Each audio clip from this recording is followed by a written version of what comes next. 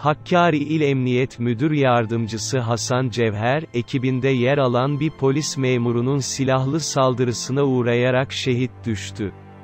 Menfur saldırısının ardından Bakan Soylu, başsağlığı mesajı yayınlayarak, tarifi olmayan acılar vardır. Hasan müdürümüz, iyi bir baba görevine sadık bir polis memleketine milletine aşık bir insandı, dedi. Haberimizin detaylarına geçmeden önce bir saniye videomuzu beğenip kanala abone olursanız beni çok mutlu edersiniz. Hakkari İl Emniyet Müdür Yardımcısı Hasan Cevher, bir polis memurunun silahlı saldırısına uğradı. Üç el ateş edilen Cevher, kaldırıldığı Hakkari Devlet Hastanesi'nde yapılan müdahalelere rağmen kurtarılamayarak şehit oldu.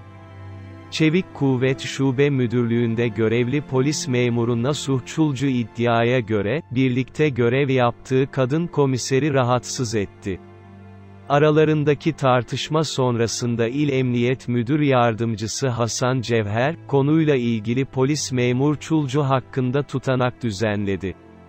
Yaşananların ardından polis memuru Nasuh Çulcu, öğle yemeği sırasında beylik tabancasını çıkartarak yemekhanede bulunan Emniyet Müdür Yardımcısı Hasan Cevher'e üç el ateş açtı. Omuz ve başına isabet eden kurşunlarla yaralanan Cevher, hayatını kaybetti.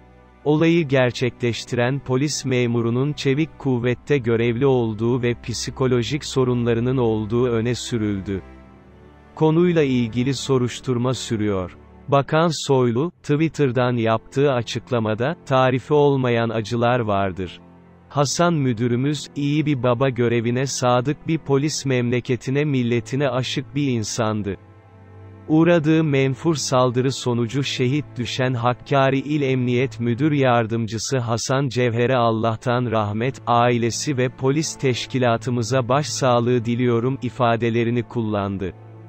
Şimdilik videomuzun burada sonuna geldik gündeme dair gelişmelerden anında haberdar olmak istiyorsanız aşağıdan kanalıma abone olup bildirimleri açabilirsiniz renkli sayfalar.